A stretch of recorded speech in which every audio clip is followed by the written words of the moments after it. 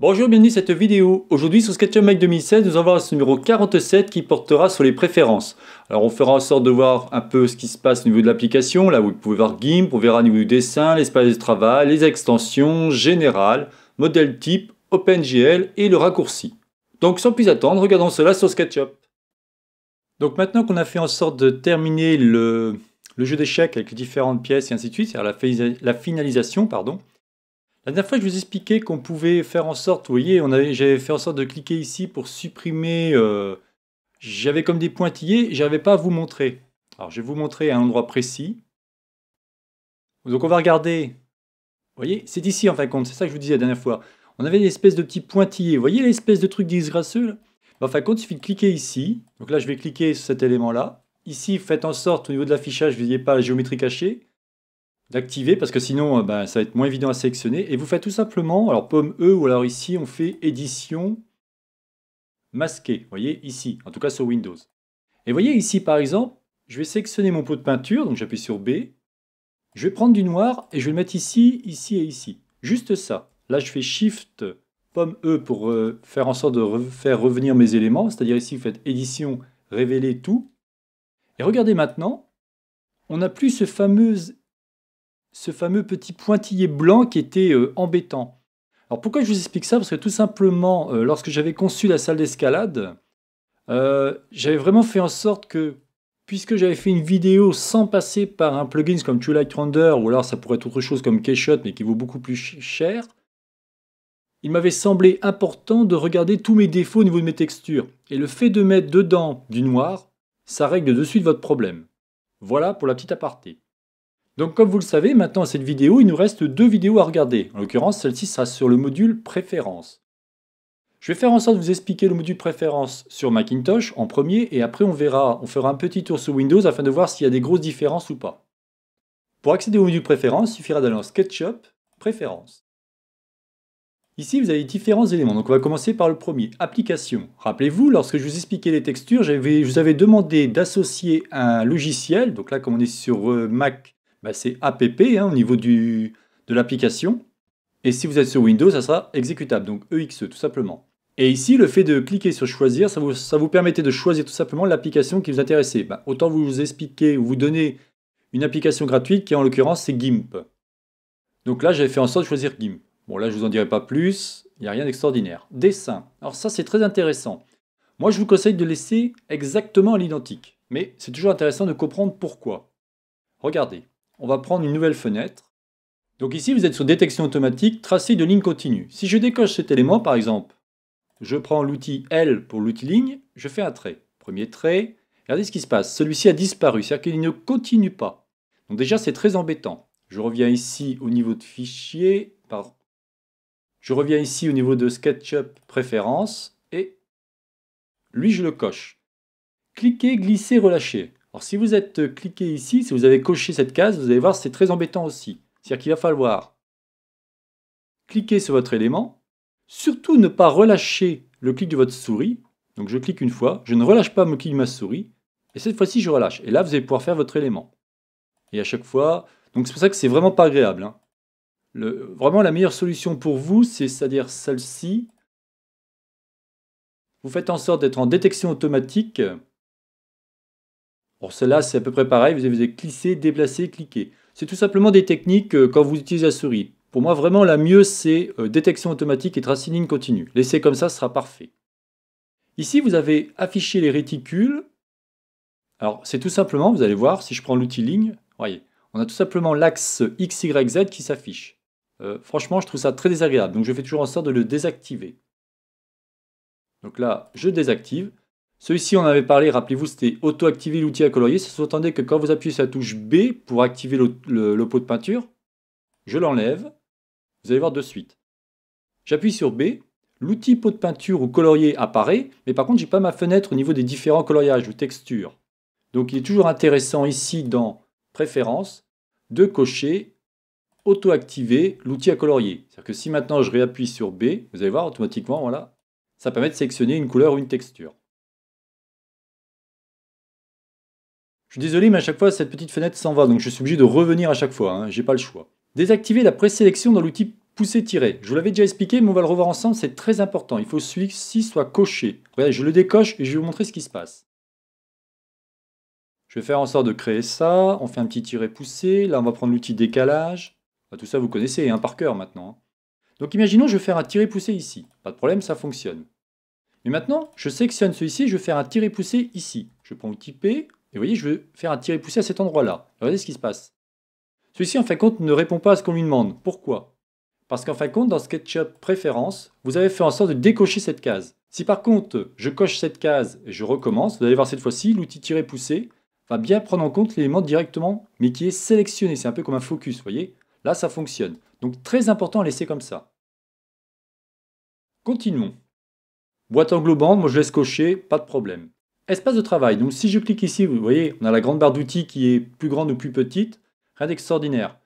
Là, vous pouvez afficher ou pas les fenêtres. Là, je dirais que c'est quelque chose qui va plutôt jouer au niveau Windows, mais pas au niveau Mac.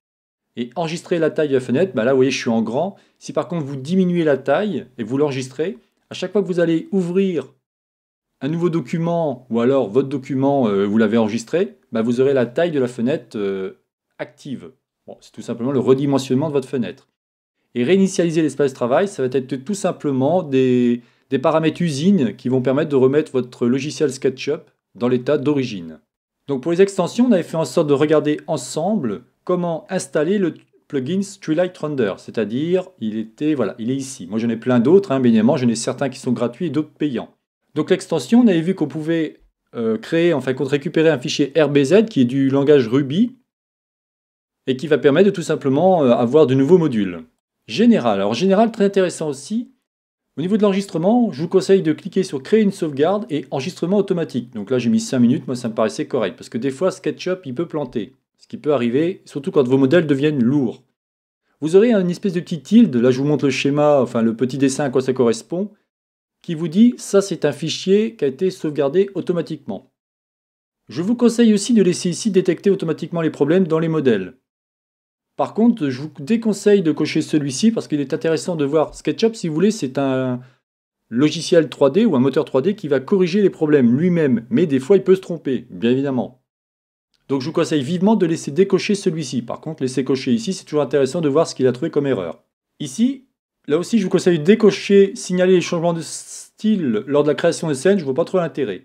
Et là, bah, permettre la recherche de la mise à jour. Étant donné que nous sommes sur SketchUp Make 2016 et que j'ai fait en sorte de vous, faire installer Twilight Render 2, qui est donc pour la version 2016 et vraiment elle fonctionne bien. 2017, euh, c'est pas sûr, donc j'ai préféré ne pas cocher cette case. Modèle type. Alors modèle type, en fin de compte, ici, vous voyez, on a par défaut, on a le maître qui est euh, coché.